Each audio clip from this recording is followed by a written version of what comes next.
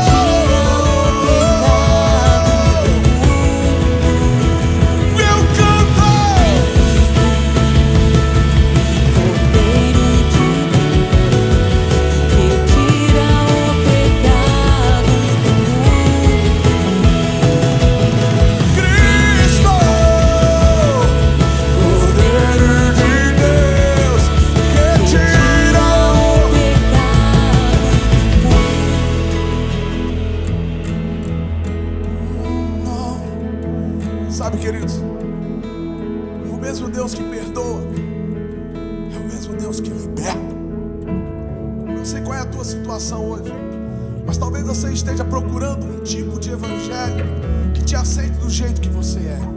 Você está certo. Ele te chama do jeito que você é, mas você não vai ficar do mesmo jeito. Ele é o Cordeiro de Deus que tira o pecado do mundo. Sabe, imagina uma árvore, não é simplesmente ele chegar, não, não, essas folhas aqui estão secas, então eu vou tirar. E aí eu vou tirar aqueles, aqueles frutos ali que também não estão muito legais, estão pequenos, não estão boas.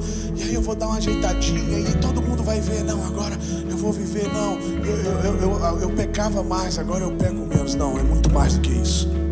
Eis que o machado está posto à raiz, é chegado o reino dos céus você esteja procurando uma igreja legalzinha, bonitinha, que te inclua e que deixe você do seu jeito. Mas sabe uma das coisas que me deixa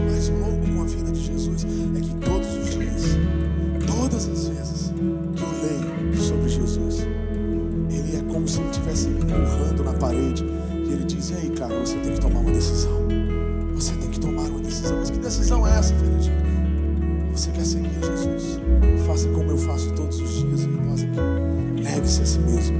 Tome a sua cruz e siga. Ele vai te chamar. Mas você não vai ficar com o seu pecado, cultivando o seu pecado. Ah, porque ele me perdoa. Não, sim, ele perdoa. Você está certo. Mas ele é o mesmo Deus que perdoa. Ele é o mesmo Deus que nos liberta. Porque ele é o Cordeiro de Deus que tira o pecado. Ele não dá um jeitinho no mundo. Ele não dá um jeitinho no seu pecado. Ele arranca o poder do pecado sobre a sua vida. Ele quer te sei o que você está vivendo. Eu não sei qual é o seu pecado de estimação. Talvez você diga, ah, eu nasci assim, eu sou assim, a minha família é assim, meu pai, minha mãe, eles disse isso. Ou então foi jogado um feitiço sobre mim. Eu não sei qual é a sua história. Talvez você ache que até geneticamente você é assim ou tem tendência disso, daquilo outro. Cara, eu não sei qual é a tua história. Eu sei o seguinte, eu não estou falando para você o que pode e o que não pode.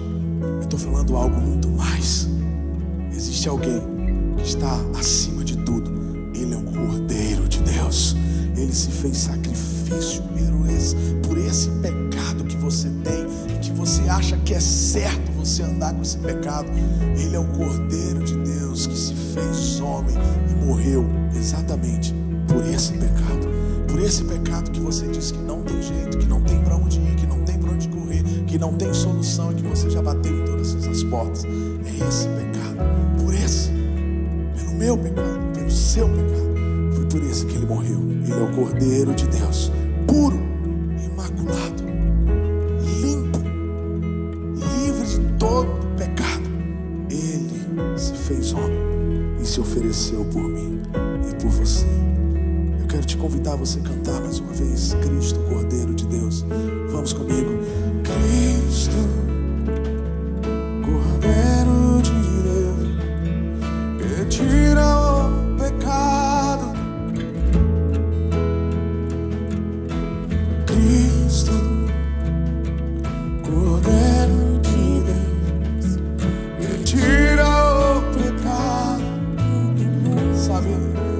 canso de dizer Cristo, diga isso, Cordeiro de Deus, que tira o pecado. Você sozinho não vai conseguir, eu sozinho não vou conseguir. Não, não, não vamos conseguir. Mas ele se fez carne, se fez homem justamente para isso. Que você consiga. É para isso que existe a graça de Deus.